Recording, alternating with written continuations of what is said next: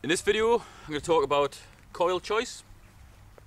Um, got a Minelab E-Trac, came with this coil which is an 11 inch double D coil.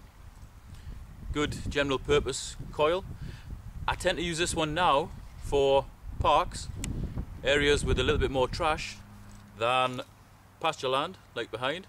In pasture land I would tend to use this big fella. Approximately 18 inches by 15. Gives me more coverage and also more depth. More coverage would sound good in a park because obviously parks are often pretty big. The coins or jewellery could be dropped anywhere. But more coverage also means more possible targets covered by the coil. That gives interference, means that in a trashy site with this big coil you'd miss a lot of targets.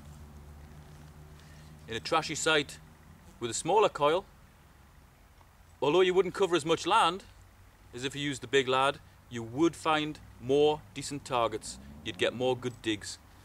This is an 11 inch coil. A lot of people use 5 or 6, possibly 8 inch coils. Generally, the smaller the better. More trash, smaller coil. Less trash, bigger coil.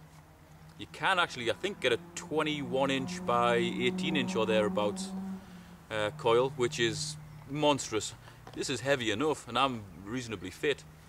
I would hate to think the size of the fellow would be able to swing a 21 inch coil. Must be built like Schwarzenegger. So in summary, less trash, bigger coil, more trash, parks, smaller coil. Happy hunting.